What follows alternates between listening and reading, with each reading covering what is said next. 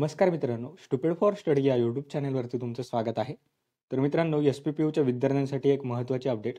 या व्हिडिओमध्ये मी तुम्हाला देणार आहे. त्याआधी जर तुम्ही चॅनलवरती नवीन असाल किंवा अद्याप जर तुम्ही चॅनलला सबस्क्राईब केलं नसेल तर लगेच चॅनलला सबस्क्राईब करा आणि बेलायकॉन प्रेस करा.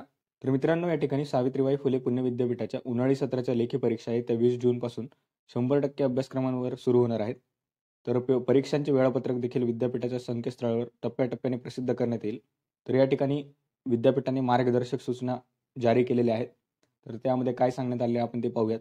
तर एका भागावर एक विद्यार्थी याप्रमाणे परीक्षा होईल. विद्यार्थ्यांना परीक्षा सुरू होण्याच्या अर्धा तासापूर्वी परीक्षा केंद्रावर उपस्थित राहावे लागणार असल्याने विद्यापीठाने स्पष्ट केले आहे.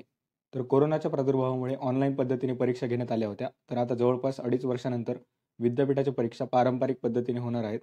तर काही दिवसांपूर्वी डॉक्टर बाबासाहेब आंबेडकर मराठवाडा विद्यापीठात लेखी परीक्षांच्या दरम्यान गोंधळ निर्माण झाला होता. तर या पार्श्वभूमीवर विद्यापीठाच्या परीक्षा व मूल्यमापन मंडळाचे संचालक डॉक्टर महेश काकडे यांनी परीक्षांसाठीच्या मार्गदर्शक सूचना जाहीर केल्या आहेत.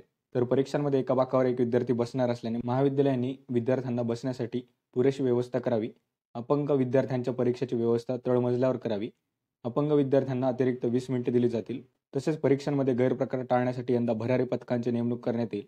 विद्यार्थ्यांना परीक्षा कक्षात कोणते इलेक्ट्रॉनिक साधन किंवा मोबाईल नेता येणार नाही परीक्षेत एखादा विद्यार्थी गैरप्रकार करताना आढळल्यास त्याच्यावर कारवाई करण्यात येणार असल्याचे नमूद करण्यात आले आहे.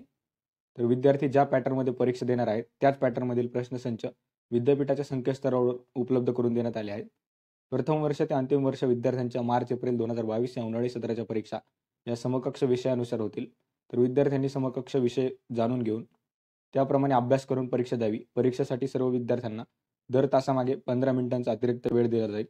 काही प्रथम वर्ष अभ्यासक्रमांच्या परीक्षा महाविद्यालय स्तरावर होणार असल्याचे स्पष्ट करण्यात आलेले आहे.